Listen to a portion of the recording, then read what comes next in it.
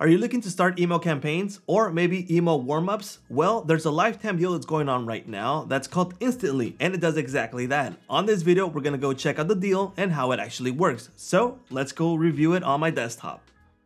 Okay, this is the Instantly deal and it starts off at $59 for the lifetime deal. It just came out and it already has seven reviews. So it's kind of interesting.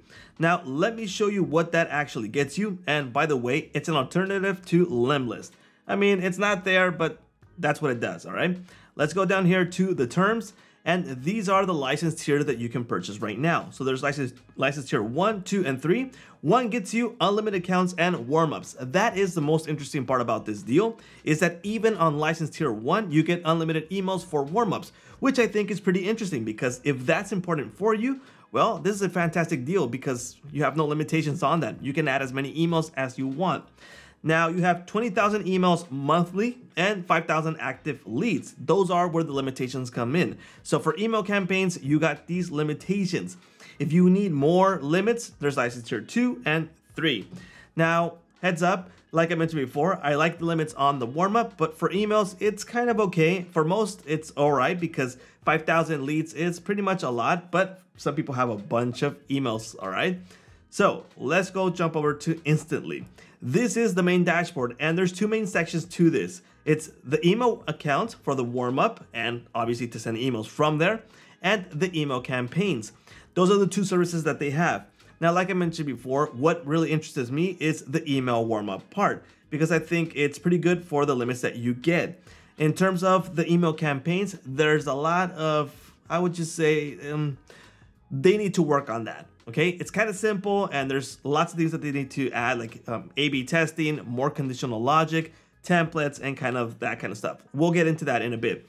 Now, first off, what is email warm-up? Because it's not a common word that we use and for marketing, well, not many people know what it is.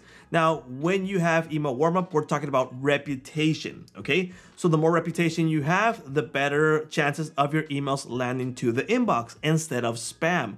For that, you need to warm up the email if it's a brand new email, or you might have an old email, but you hardly use it. So if you start sending out email campaigns, well, they could land on spam. So that's why you would use email warm-up.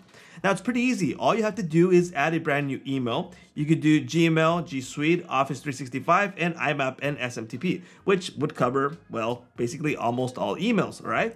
You add the settings and then you will have those available right here. Once you start adding them, you will have this right here. So for example, this one is a email warm up that warm up that's been started, and warm up email sent past week was 142. 142 emails landed in the inbox past week, which is has a really good reputation, so it didn't land on spam. Let me click up the settings for this. These are the warm-up analytics for it. So it's been superb. 100% of the warm-up emails landed in inbox. This is just a test email, and as you can see, well, they are landing on the right place, all right? So you might not even need warm up for that email. So these are the emails sent, landed on inbox, saved from spam, 130 warm up emails received. Let me show you the settings because this is where it becomes interesting. You can set up your custom tracking domain via CNAME. Obviously, you need to have access to your DNS for your domain, which is pretty much standard if you have a domain bot, okay? you add it here. Now the warm-up settings, this is where you kind of understand how warm-up works, okay? For example, the suggested emails is for example two to four max. You can set the option here, two, three, or four. Um, if you know what you're doing, well, you can add more or less. A daily limit 20 and up to 200. Again, those are the, what they recommend. You can add more or less, but you must know what you're doing. And the reply rate, okay? This is the percentage, 30 to 40%. What does that mean? Well, if I send out 100 emails to warm up, 30% in this case, that's what it has, are gonna be replied. So that's telling whoever's um, keeping track of the email reputation that that email is real, right? And it's working because it's someone that's sending out emails and it's pretty much interesting because they are replying 30% of them. Why are they not replying more than 30%, 40, 50, or 100%? Well, because it would be marked as, you know what, that's fake, right? If you send out 100 emails and 100 people respond, it's kind of un unlikely. That's why you have these reply rates. And you can monitor blacklists. So if it turns out that emails are going to blacklist or blocked, it's gonna let you know. That is how the email warm-up part works. like I said, pretty cool part about this deal is that even on license tier one, if your main priority is email warm up, well, it's a fantastic deal because you can add them here and start warming up emails without limitations. Well, apart from the settings, right? But I'm talking about the emails that you can add. Next part is the campaigns. Like I mentioned here, I think it's pretty much basic as of now. I'll just create one basic one right here just so you understand. And I will add some emails here. I'll just add one manually. Okay, I'll add my email. It's imported. Okay, upload. Again, you can upload via CSV and I forgot to add the name, but it's okay. It's just for testing purposes. Now, this is the email builder. Something that I would like to see, and I, I would suggest that they make this a visual builder where it actually flows. In this case, you have to add steps right here. And it's, I mean, you can, it gets kind of complex. It's not the same as viewing it like little lines crossing to what's going on and what it should do. For example, conditional logic, you'll see how it flows because it's a visual builder. In this case, it's built on steps. So that's something that I, I think they should consider adding. So what options do you have here? Obviously the subject and the content, okay? We can add variables to this. Obviously there's no variables right here, but if you had name, company, birthday, um, whatever of whatever they purchased, and you have those variables added when you add the emails, well, you can view them here and use it. So that way, when you send out emails, they're more customized because it's using the variable. So it'll, it'll say their name, it'll say their company name, and so on and so forth, all right? I can save this if I like. I can create a template. So once I write this up, I can save it as a template. We have the options to preview the email, the type of fonts, insert links, insert variables, insert, oh, use templates. Oh, there we go. I thought they would be nice looking templates, but at least they have something available. So it's these kind of templates, getting customers for a lead gen agency. There's a couple of them here. So that's nice that they have something but I would like to see, see more um, nice templates with images already built in where we just replace them. It saves a lot of time, okay? All right, so what happens if we want to add a step? Well, we click on it and this automatically pops up. So how much do you want to wait for the next email? Again, things that they should consider here is, hey, maybe I don't want to wait days. I want to set hours, minutes, or weeks or whatever, right? So in this case, I'm locked in today. So days. So for example, I put three, it's three days. Um, I wish it was hours because maybe I don't want to set three days. I want to put it by hours, eh, um, in 12 hours, 15 hours, etc. I just want to have the option there. So something that they, they should consider. If I click here, it'll open up the settings for the next text right here for the content. Now, if I want conditional logic, I'll go into advanced options and these are my options right here. I can add a condition. As of now, these are the conditions that are available. If the lead opens this email or replies to this email, well, this is the action that's going to happen. So what's it going to do? Skip wait time before next step or change wait time before next step. So a little bit lacking there on conditional logic. They need to add way more options there. Like if someone clicked on the previous link, did they click on the link?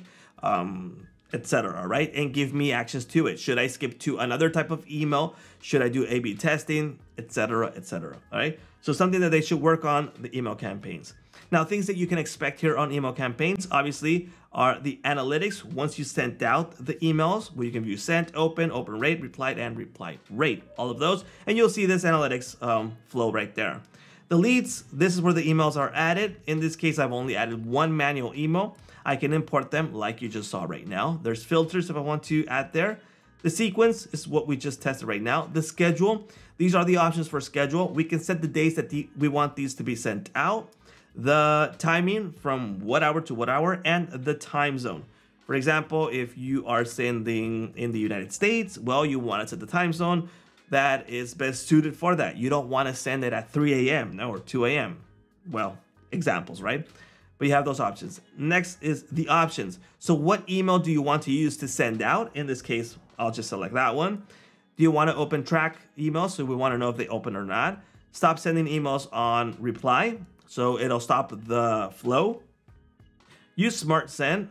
Slow ramp up the daily send limits and daily send limits. If you want to limit the, if you have like, if you want to send out to a list that's 2000, well, you don't want to send it out on one single day. So you want to set a limit to it.